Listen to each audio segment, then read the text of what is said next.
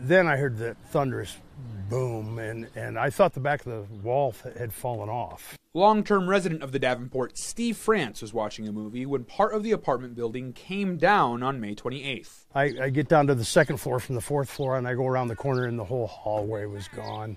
Uh, you know, on the left was laundry, and uh, to the right side was Ryan Hitchcock's apartment, and it was just outdoors. Having lived in the building for 14 years, he's seen owners come and go. I thought things were going to get better with uh, um, Wold taking over, but even the even the sanitary conditions dropped. I mean, it got bad.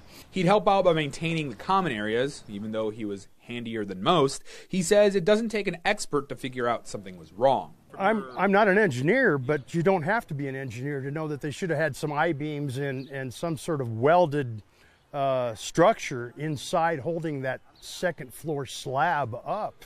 As an avid photographer, he's captured Quad City moments like the Blues Fest or others within his own family. I can't work on cars and trucks anymore because I'm, you know, full of arthritis. But uh, I could fix up those old cameras and take them around the block for a, you know, a shoot, run some film through them. Many of those pictures and vintage equipment now irreplaceable. I think that's the worst stuff. Everything else can be replaced, but certain things are just invaluable. You know, they're, they're priceless. France says he has a good group of friends supporting him as he looks to rebuild his life. The VA has been absolutely fantastic. It's just going to be a matter of time. You know, five years from now, I'll look back on it, but right now it's still a little shaky. Thanks for watching our YouTube channel. Follow today's top stories and breaking news by downloading the NBC News app.